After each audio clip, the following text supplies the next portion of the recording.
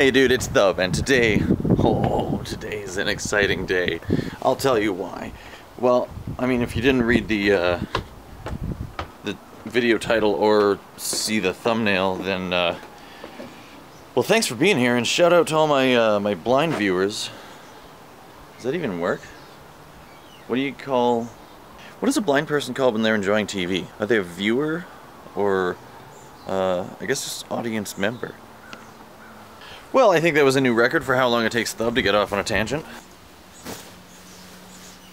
So having that yard sale felt really good. It was cathartic. It's nice to unload a whole bunch of stuff.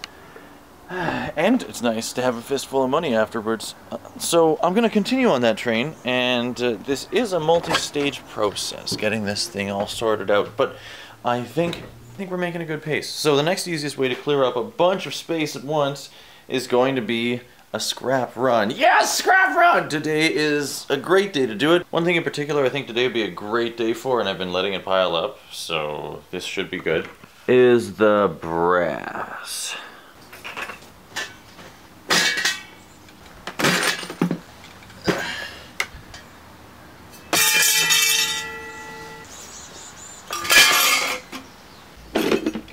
Another reason why I think today is a good day is because copper's doing really well, and if you know, it's doing some kind of funny things, but um, mostly doing really good. And maybe I'll get into some more detail on that at the end of the video. But if you know anything about brass, you know it's just cheap copper in disguise. So naturally, the prices follow. If today's going to work out, though, I can't spend any more than an hour doing this. So let's get right into it and see how quickly we can crank through.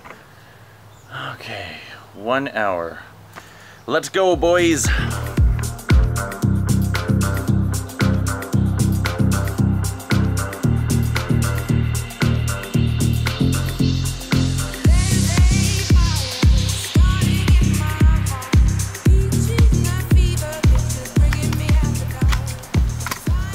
Pound of brass right there.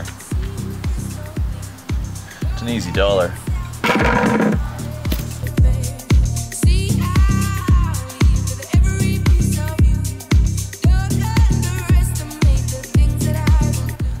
Trick I showed you about how to test if it's brass or not? Not all of us have a grinder. You can see the color in there. I don't know if you can see that. Anyway, brass.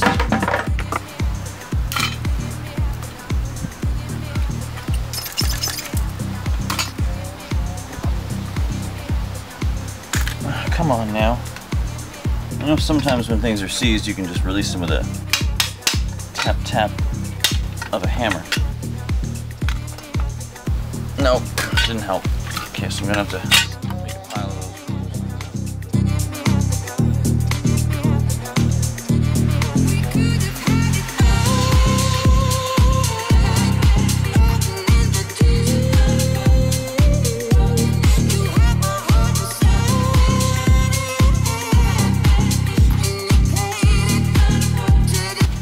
See, that piece isn't brass. Autofocus would be nice. This piece isn't brass, but I bet I can just bend this flange enough um, to slide it off.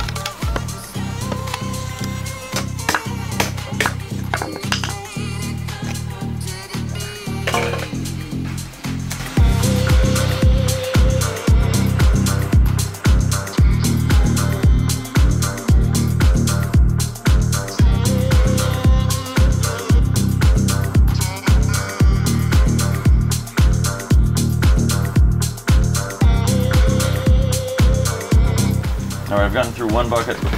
Working on a second one.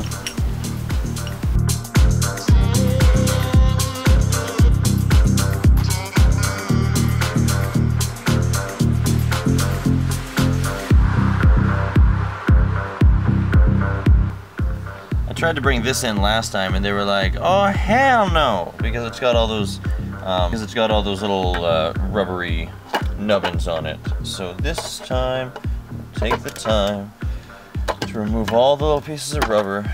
And I mean, they're not wrong. That uh, that much rubber probably weighs quite a bit. I'm gonna motor through this, and then we'll see. There we are. Still a pretty heavy piece of brass. but yeah, it's probably like a half a pound of rubber. That's fair. So we've gone through a second bucket, now we're on the last one. This has already taken a lot longer than I wanted it to.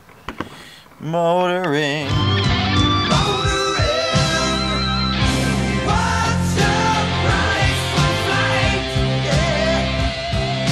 New discovery, check these things when you pull them off, because this one's actually brass.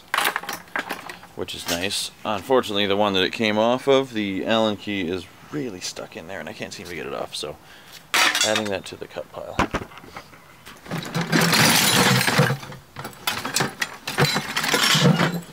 Now this piece has brass here, but the rest is copper, so I am definitely going to separate the two. because I've got an easy point of access.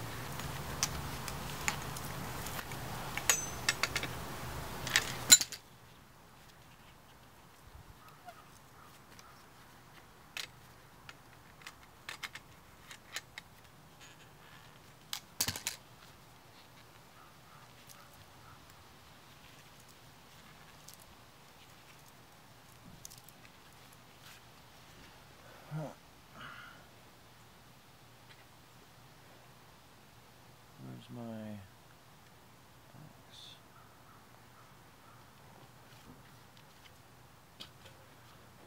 Uh, I lost the tool. Oh. It's right in front of me. It's very close enough. Nope.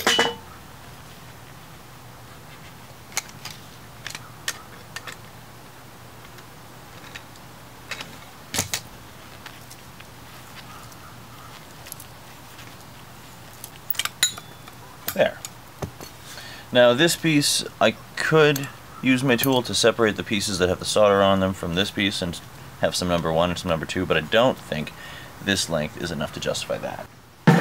Here's another fun tactic. Um, this one here has these thick rubber tubes on it, um, so I'm probably only going to be able to get dirty brass because it's got kind of a high percentage of other garbage.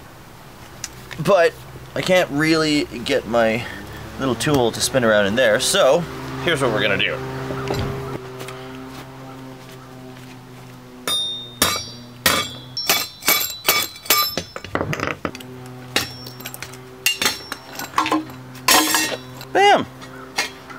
Copper's nice and soft, right? So if you're not gonna save it for something, you can get through it pretty quick with a hammer. Now this piece, I do think is worth the time to separate that little piece of solder to increase the value. There we go. Soldery dirty copper, good copper. We're getting there. Alright, that took two hours, uh, which is twice as long as I wanted it to take. Um, brass is good money, but you gotta set some time apart for it. so this is what we ended up with. That's the pile of garbage. This here's the copper, the nice shiny stuff, and the stuff that's not so shiny but doesn't have any solder on it. Over here, this is the rest, not too much. This is just copper with no brass that has a bunch of paint and such on it. These pieces, I thought they were copper because they're the right color, but they're not. They're copper coated, I guess. Um, that's all the nice shiny brass. I think you get a better price for that. And then two buckets of other brass. Nice. Uh, and then these longer pieces, which are also shiny which maybe I should keep. I'm not really sure, but I don't really have a project in mind for these ones. And then I'm gonna do something that I, and then I'm gonna do something that I never ever do, which is bring in a pile of dirty brass, like uh, on purpose, not just things that I couldn't separate. But see, to get through these, I would have to take the angle grinder with a cutting disc and slice through that, and then fart around a bit more. It would take a bunch more time, and it's it's worth it, but I just want to get rid of them today, so that's just what I've chosen to do. Now we're going to load this up, but we're also going to put in some aluminum because we're going there anyway. Now sometimes when it's just a few, I don't feel like taking out the uh, angle grinder. And in that situation, cast aluminum is brittle, so you can always just bash things straight through it.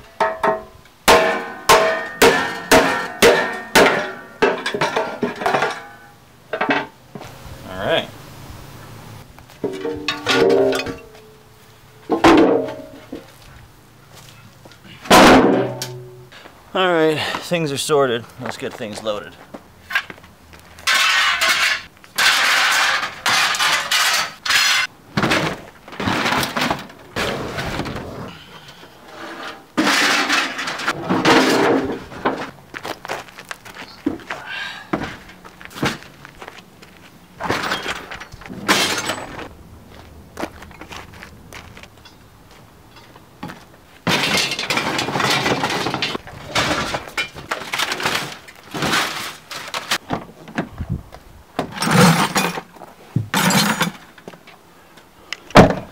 Well, it's not the most full this car's ever been, but it ain't bad. Can I get a thumbnail out of this? I bet that'll make a decent thumbnail. Bam, thumbnail. Maybe. Oh, there. Like I said though, that took too long. We gotta move. Just let me make sure I've got my ID. Got it. Let's go.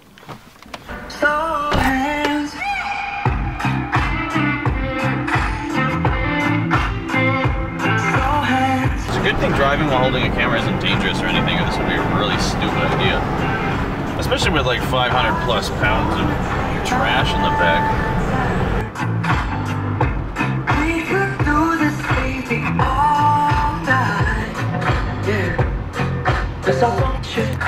I don't think there's going to be any fast way to do this. There's, it's not going to be a quick in and out situation because this is the first day after a long weekend and there's going to be a lot of people with scrap that they would have brought in a different day that are going to be piling up today. And it's not early. It is currently 3.30, so we'll see. I might, I mean, if we if I'm just supremely fortunate today, we might end up rolling in there just in the middle of a lull.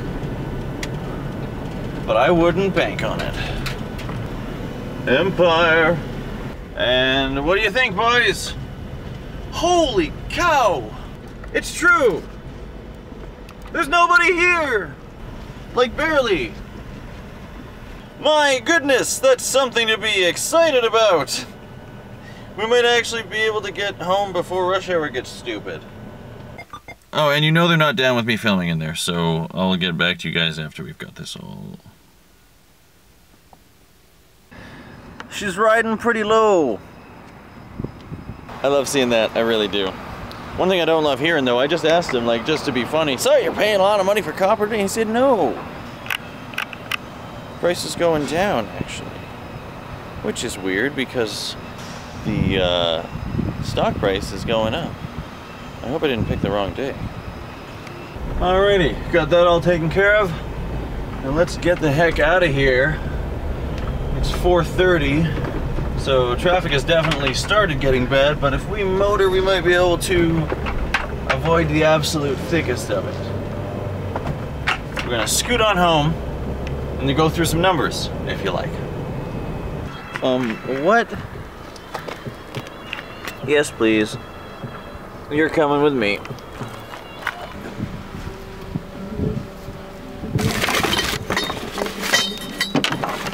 Nice to meet you. Don't see you time.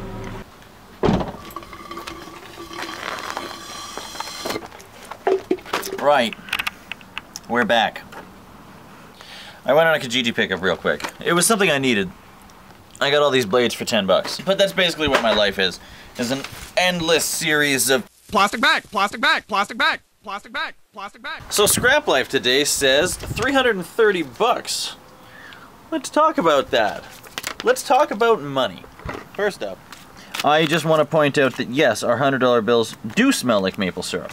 I'm not even making this up. You need a couple of them in your hand and you rub them together kind of like a scratch and sniff and trust me, it's there. It's weird. I don't know why. I love it. Go Canada. But that wasn't the point I was trying to make. Look at this is the first time I've actually gotten one of these. Now, I guess this is the 2017 version, so a whole bunch of other people have probably already seen this, but like, how cool is that? It's all purple except for like the northern lights up there. All the different resources. There's that like shimmery green thing over there. Those, I guess, would be the Rocky Mountains, probably. And over here we got all this shimmery green stuff, and uh, Sir John A. Macdonald, um, historical figure, but all, not generally considered to be a good guy by today's standards, and a bunch of other. Like, this is just really cool. This is where we came from on that ye old paper bill. Then we went to this one.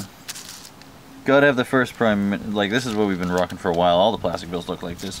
And then we switched over to this thing, and I don't understand why. I like the purple though. Anyway, that's not really, that's not what I wanted to talk about either. This is what we're here to talk about. So I was going to show you graphs and stuff about copper and how it's sitting at uh, just a hair under the highest point it's been in two years. but um, it wasn't reflected in the price I got paid today. I actually got five cents less for number two insulated copper wire than I did the last time I was there. So I guess the yard doesn't always directly reflect the performance of the metal. I don't understand. Um, but if they're a couple days behind, then I think they made a lot more money than I did today. Well, of course they made more money than I did today. They've been scrapping all day. But what are we? So if you care, you can pause right there, and then you can see all the numbers. That should be plenty focused. I'm just going to detail the, the interesting ones. So I did separate some wire because they do actually do a number one and that pays $1.35 as opposed to 90 cents for the number two. So there was only eight pounds of that, but that um, that was awesome. Collectively, though, I had 72 pounds of wire, which isn't bad considering I didn't actually go to that many different locations to grab it. So batteries and barbecues are always some of my favorites. Barbecues, I think I had six of them, and that was 35 bucks. And then batteries, there was only four of them turned into uh, $49, so 50 bucks. Aluminum, whatever let's talk about brass and copper. I got a buck 40 a pound for the clean brass, so that turned into 75 bucks. And then the other ones, um, a dollar a pound for the slightly dirty stuff. I guess I do have to separate that, but that's the tap brass. That's still way better than the other place. That's what I like about this place. And then the dirty brass, which is the stuff that I just completely gave up on. Um, that 30 pounds of that stuff at 20 cents a pound. Six dollars. So you get five times as much for light dirty brass and seven times as much for clean brass. If I hadn't cleaned any of it and I just brought in the 104 pounds, but it probably would have been 130 pounds if I had all that other junk on it, I would have gotten 20 to 25 dollars instead of $101. So that means the two hours that I spent doing it was about somewhere around $75 an hour. So yes, it was a pain in the butt, and it did take a bunch of time, but it was, it's one of the best uh, returns for your time when it comes to scrapping. So don't bring in dirty brass. I was just being lazy. I do kind of wish I'd... Nope. Nope. Nope. Clean your non-ferrous, folks. That's the lesson here. I mean, everybody already knew that, but I think that I just wanted to help illustrate what I could have had if I didn't put any effort in at all. Now I really want another ice cap, but I'm probably not going to do that because time is short, and if I don't uh, hop in there and actually get some stuff done and stop being distracted, then I will find myself trapped forever in an alternate timeline where I failed Bearded Divers Challenge, and I just can't live with that. Can't let that happen. So, thank you again for hanging out. I hope this was a little had a little more helpful information. If not, I'm glad you uh, stopped by and I hope you enjoyed it in all the rest of your journeys. Until I see you tomorrow, leave it better than you found it and keep doing the thing!